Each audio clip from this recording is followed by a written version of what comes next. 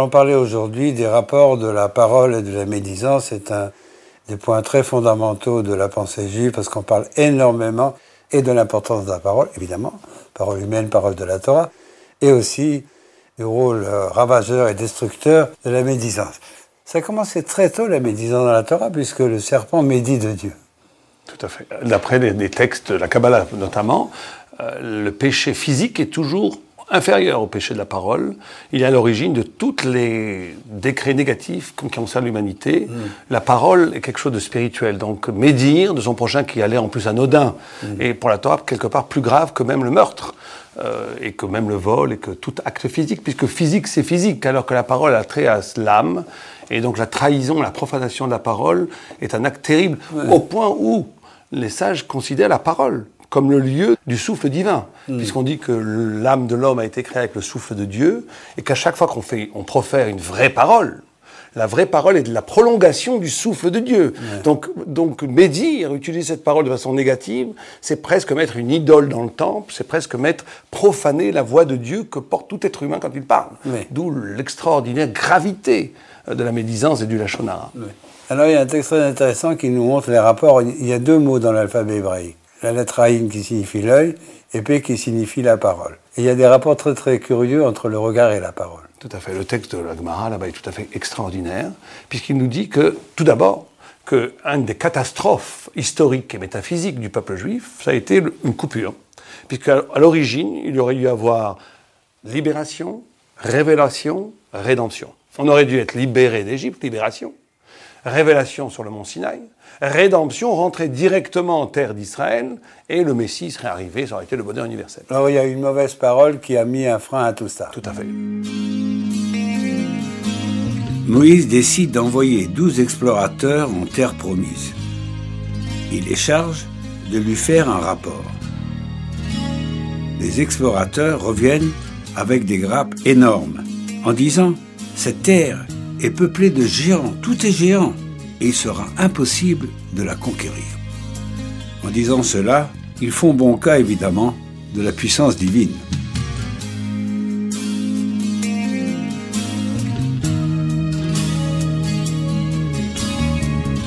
les explorateurs, les méraglim en hébreu, les explorateurs ont médit de la terre d'Israël en disant cette chose est trop grande pour nous, on ne peut pas y arriver. Oui, c'est trop dangereux. C'est trop dangereux, trop grand, trop dur. Non, les hommes sont trop forts euh, qui sont là-bas. C'est-à-dire qu'il y a eu un moment que cette parole était l'expression d'un manque total de foi. De foi, tout à fait. Et donc ça a été une coupure.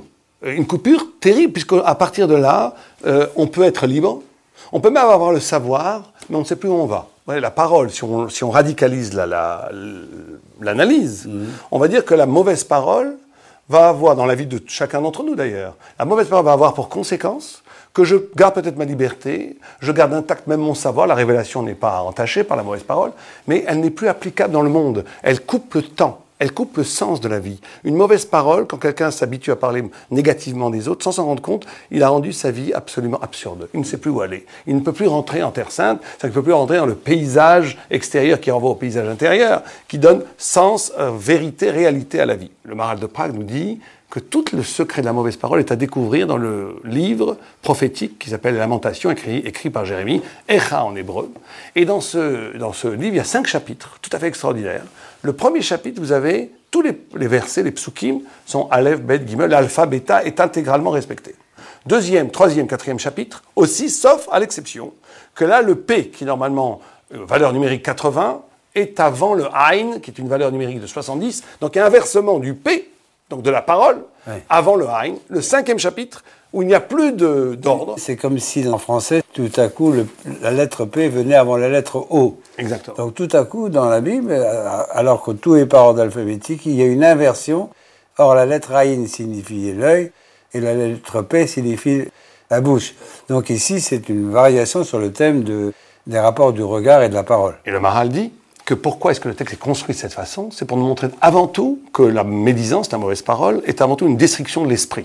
Que le cinquième chapitre, il n'y ait plus d'ordonnance euh, des versets alpha-bêta, c'est pour nous montrer qu'il y a une destruction du sens. Lorsque vous avez la lettre, une inversion de la lettre qui désigne la bouche et de la lettre qui désigne le regard, ça veut dire tu parles avant d'avoir vu. Tout à fait. Et de parler avant de voir serait le signe, le stigmate, le symptôme de la destruction du sens et de l'esprit. Pourquoi? Pourquoi? Alors le Maral explique, il explique une chose qui pour moi est fantastique. Il dit le monde a été créé à partir de trois grands mouvements qui sont Tohu, Bohu, Yetzira. Tohu, on va traduire étonnement, puisque Rachid dit, euh, Rachid commente Tohu, étonnement. Bah, c'est intéressant parce qu'on parle beaucoup de Tohu, Bohu, En, français, et, que la plupart des gens ne savent pas ce que ça veut dire. On sait que ça veut dire une espèce de, mélange, de balagan, comme on dit en hébreu. Mais Tohu vient aussi de l'étonnement. Les commentateurs de la Torah disent c'est l'étonnement que provoque la vision du monde chez un homme.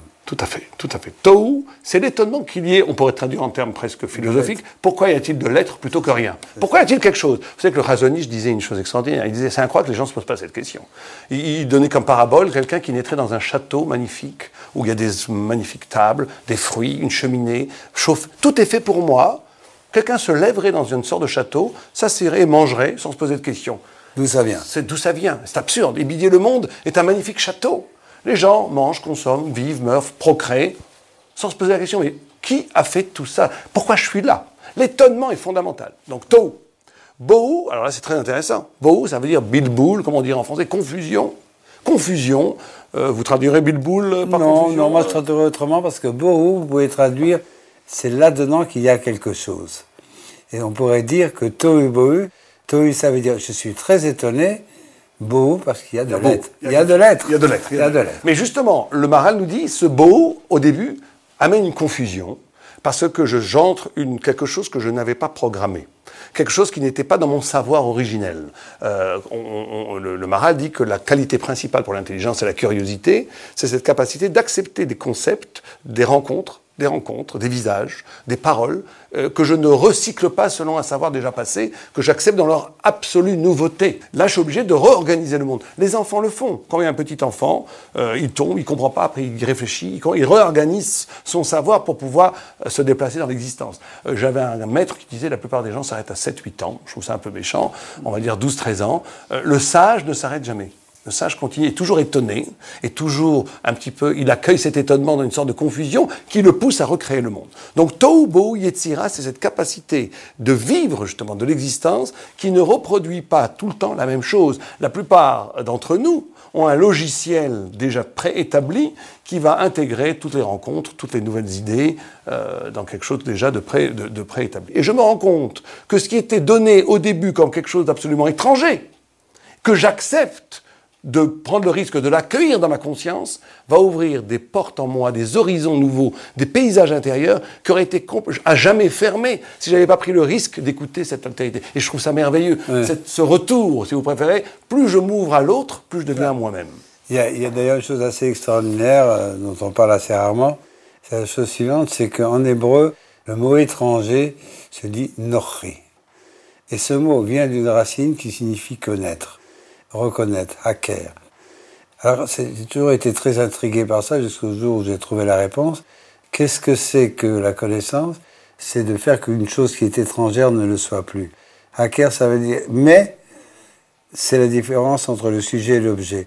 Pour que je puisse comprendre quelque chose, il faut que je fasse que cette chose soit différente de ma conscience. Comme d'habitude, il y a des textes contradictoires sur la parole.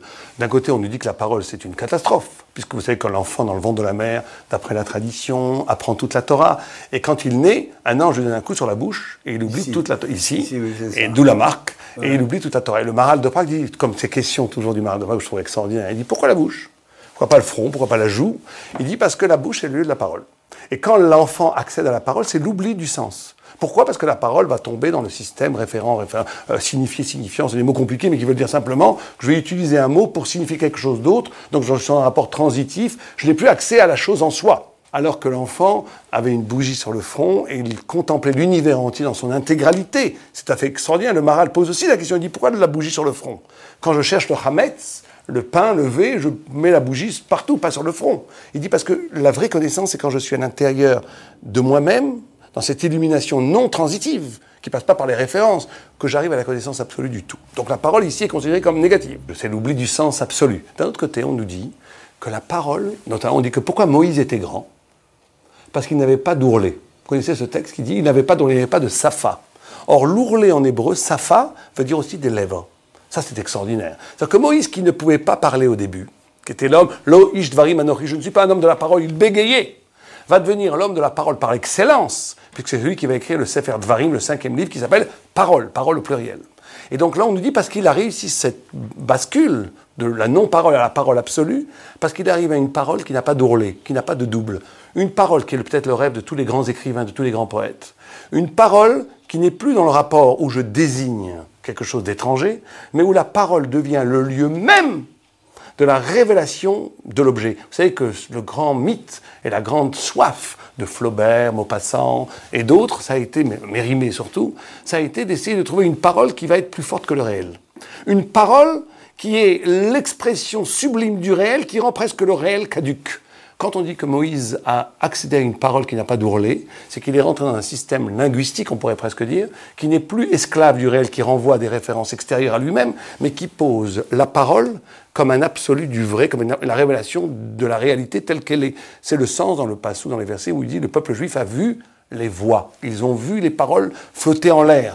Ils ont vu, c'est pas simplement qu'on leur a raconté comme de la littérature une histoire sur la vérité. On nous dit que pendant les dix commandements, on dirait aujourd'hui en termes de télévision, une surimpression, un déroulant, la parole déroulée également. Ça veut dire que la parole n'est pas seulement quelque chose d'abstrait, ça veut dire qu'il y a une concrétitude de la, parole, c'est important ça. Tout à fait, une concrétude de la parole, c'est pour ça, quand on nous reproche d'être trop pro de la lettre, c'est le lettre et l'esprit, bon, c'est pour le judaïsme, on en rigole. Parce que la lettre, si elle est vécue métaphysiquement, presque spirituellement, esthétiquement, poétiquement, la lettre est riche d'une infinité de sens. Dès qu'on réduit la lettre à l'esprit, on rentre dans la pauvreté bourgeoise d'idées toutes faites, d'idées bon, euh, tout à fait cadrées sociologiquement parlant. Quand on dit, quand on laisse à la parole ça comme vous avez dit, euh, concrétude, on pourrait presque dire sa brutalité. Le, texte reste dans son intégral, dans son inexpugnable, dans son infinie brutalité, on ne peut pas y toucher. Et à partir de là, par contre, on parle de l'éclat de la parole, des milliers d'interprétations possibles, euh, une liberté phénoménale de l'interprétation de l'herméneutique juive, mais, mais, justement en respectant l'infini, l'infini des lettres, l'infini de la parole. Il y a d'ailleurs quelque chose de très intéressant, c'est que, d'une manière générale, on voit aux gémonies quelqu'un qui n'observe pas sa parole. Donc la parole, c'est, on pourrait dire, l'avènement de quelque chose qui est du non-être. Et à partir du moment où je parle, je lui donne une consistance. Et si je promets quelque chose, cette consistance implique que je dois la respecter. D'où, très très souvent dans la Torah, des commentaires, Dieu donne un ordre et dit, je suis l'Éternel. On dit, attention, je suis l'Éternel qui est fidèle à sa parole, et gare à celui qui ne sera pas fidèle à sa parole. Je crois que c'est quand même. Ce que vous dites est fondamental, puisqu'il y a un texte qui nous dit deux choses. Qui afflie Ishneder, Pélé, c'est le miracle de la parole. Pélé, c'est le miracle de la parole. Mais il nous dit que c'est quelqu'un qui ne respecterait pas sa parole perdrait sa femme et ses enfants. Tout le monde dit, mais les pauvres enfants, la pauvre femme, qu'est-ce qu'elle a fait? On nous dit parce que l'homme, la parole est le lieu de l'expression de l'homme qui ressemble à Dieu. Là, la parole est créatrice la possibilité de créer des choses. Or, si tu romps le pacte, tu ressembles à Dieu parce que tu es un être parlant. Si tu ne tiens pas ta parole, c'est que tu tues cette dimension en toi, tu détruis cette dimension en toi d'être créateur. Et donc, ce, qui est le symbole de, la création, de la procréation, qu'est la femme et les enfants, y pâtissent, en pâtissent, d'où l'effroi même et d'où l'injonction absolue de garder sa parole.